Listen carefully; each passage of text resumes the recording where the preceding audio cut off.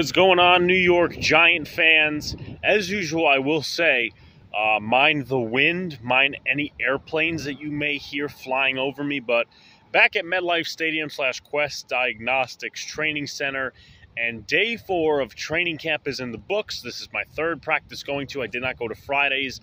Um, but with that being said, I thought this was the most fun practice that I've seen uh, yet. I mean, I went to one training camp practice in 2019, a few in 2022, and 2023. As I said, I thought this was the most fun. A lot of different explosive plays. Um, it wasn't really a defensive day, except for maybe a few plays. But we're gonna get into it here. If you guys are new from Twitter, because I knew I, I know I got a lot of live tweeting and likes and all that other stuff from different people. Uh, if you guys are new, definitely hit the subscribe button and do all the good stuff as we're inching closer to 1.4K. With that being said, let's get right into it. Let's start with the offense. In terms of lineup changes on the offensive line, there definitely were some. Tyre Phillips was actually the left guard one today, so that shows how much they favor him. Uh, you know, obviously rotating in there with Josh Ezeudu and Ben Bredeson, so he might have a leg up in this swing tackle, swing guard role. Uh, John Michael Schmitz was the first team center as usual. Josh Ezeudu got some burn at left guard too.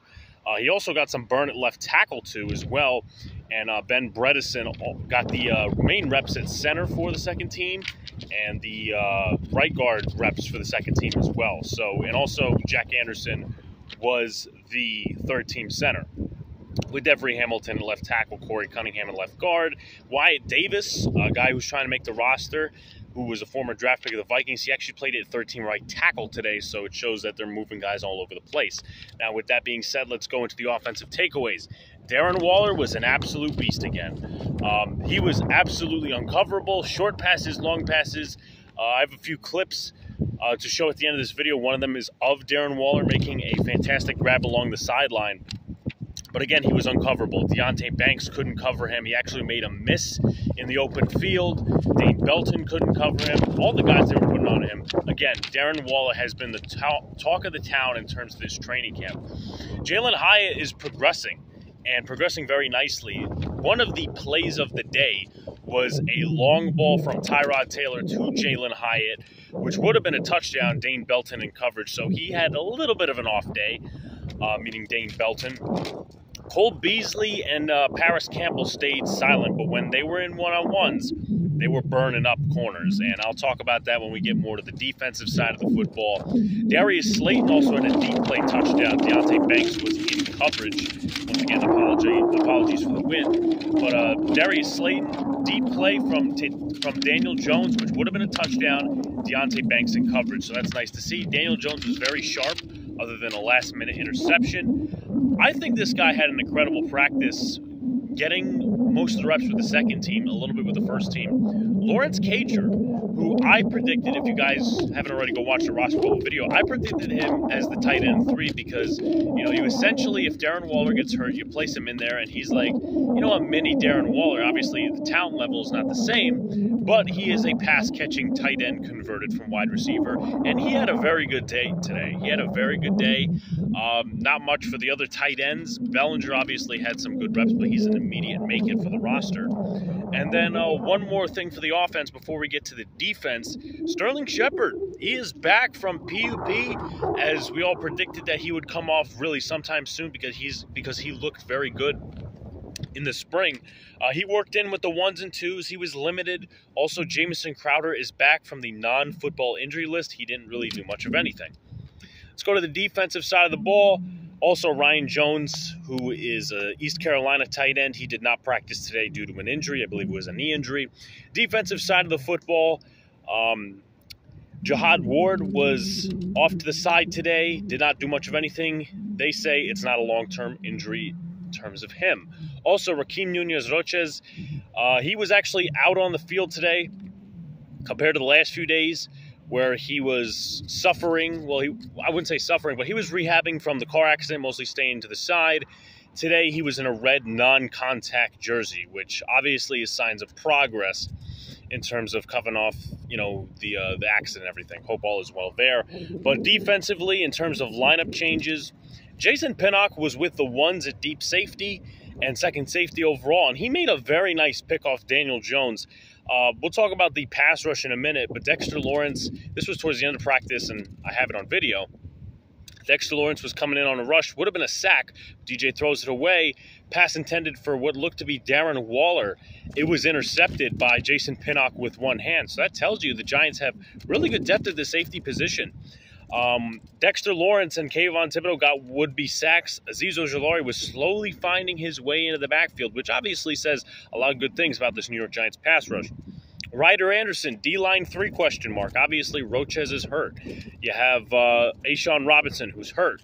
Leonard Williams and Dexter Lawrence, the main key cogs in that defensive line towards the end of practice. Ryder Anderson, well, guess what? He was in with Dexter Lawrence towards the end. So that tells you when they are giving these guys a breather, could it be Ryder Anderson that comes in instead of a guy like DJ Davidson, who, to be fair, is uh, off to the side injured right now, or a guy like Kobe Smith, Jordon Riley. So there are some notes there. A'Shawn Robinson, I thought he was running well off to the side. Obviously, he's on PUP, uh, coming off of an injury where he ended the season with the Rams. Obviously, I think it was a torn bicep or something along those lines. However, with that being said, he was running well uh, in a cone drill that he was doing. So that's obviously very encouraging for the uh, New York Giants. If you are a guy who you know, obviously loves this draft class. Trey Hawkins, he was absolutely phenomenal today. Locked down Jalin Hyatt in one rep and also had a nice pass deflection um, on a pass that was intended for Lawrence Cager from Tyrod Taylor. So there's something to note with that. Trey Hawkins has had a really nice camp, really hasn't gotten beat a ton, and if he has, it's not been explosive plays. Darnay Holmes had a nice PBU, aka pass deflection uh, on Kalil Pimpleton pass from Tyrod Taylor. But the bad part is he was struggling mightily in one on ones. Against Cole Beasley, he gave up a touchdown. Against Parris Campbell, he gave up two touchdowns. So, not really a great day for him if you're looking at that slot corner battle, which features Aaron Robinson, who's on pup, Cor'Dale Flott, who was drafted last year, and Zyon Gilbert, who is also in contention for that spot as well. So, with that being said, guys, that's going to be all from me. Uh, definitely look at the videos that I have posted on Twitter. They're going to be in this video as well. Like, comment, subscribe to all the good stuff. Turn on post notifications so you know when a live stream pops or drops. I will be back out here on Tuesday. That's when the pads come on. That's also the day of the MLB trade deadline. Monday, I won't be back out here.